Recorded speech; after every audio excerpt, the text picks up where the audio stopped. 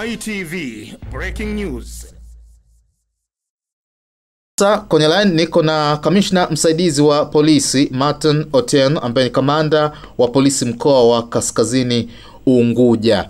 Uh, tunataka kuweza kufahamu kuhusu tukio lilotokea huko. Ha, ni ni sahihi. Kuna tukio ambalo limejitokeza uh, imetokea maeneo ya kaskazini Unguja. Huku kuna eneo ambalo linaitwa uh, Matemwe Mbulumaji. Uh, tukio hili maeneo ya Matemwe Mbulumaji, kuna mvuvi mmoja ambaye amefanyiwa kwa jina la Juma Juma Mcha alikuwa amemwona kasa ambaye alikuwa ameenda ufukweni kutaga mayai. Basi baada ya kumwona yule kasa, huyu mvuvi Juma Juma Mcha akiwa anasaidiana na wenzake walimkamata kasa huyu wakamchinja na hatimaye wakawa wamegawana ile nyama ya kasa hapo kijijini kwa ajili ya kuifanya kama kitoweo.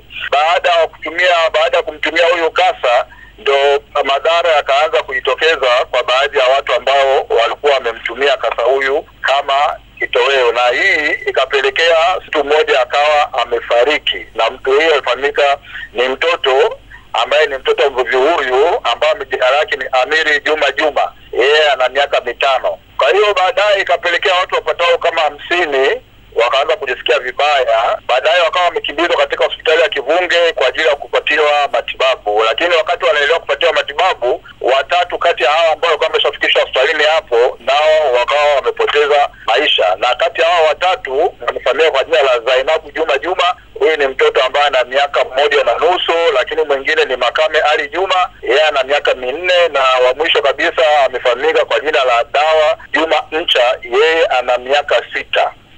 Kwa hiyo mpaka sasa hivi jumla ya watu ambao wamepata madhara kutokana na kula nyama huyo wa kasa, jumla ni watu arobaini na saba ambao wanaendelea kupatiwa matibabu katika hospitali ya Kivunge, ya watu hao arobaini na saba watu thelathini na moja ni watoto ambao wana umri kati ya miaka kumi na nane kushuka chini, lakini watu wazima kwa maana kuanzia miaka kumi na nane na kuendelea jumla yao ni watu kumi na sita.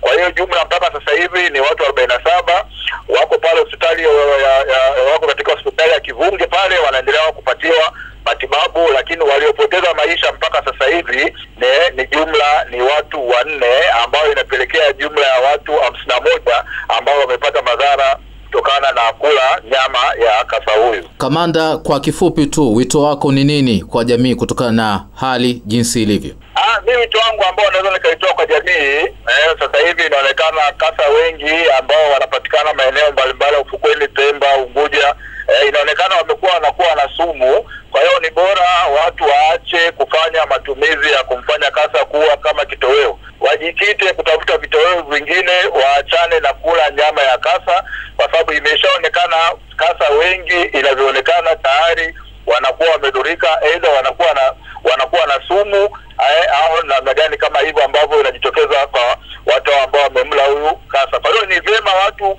wajikite kula vitoweo vingine, samaki wako wengi, waachane na kula nyama ya kasa ambayo inaonekana tayari kasa wengi wanakuwa wana